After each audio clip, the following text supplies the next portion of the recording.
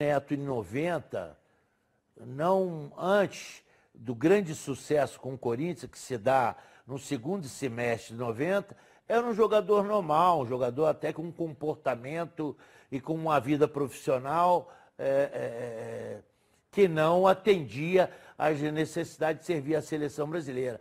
Porque o atleta, para servir a seleção brasileira, ele passa pelos aspectos técnicos, táticos, a qualidade dele indiscutível, como também o comportamento dele, a atitude, o social, o, o, o que ele representa, a sua ideia. E, infelizmente, o Neto nunca atendeu.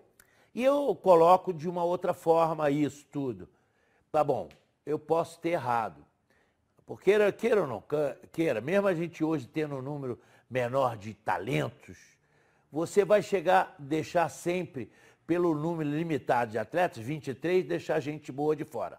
Mas vamos lá que eu errei no Neto. Mas por que, que ele não foi em 86? Por que, que ele não foi em 94? Por que, que ele não foi em 98? Será que só o Lazzaroni que errou?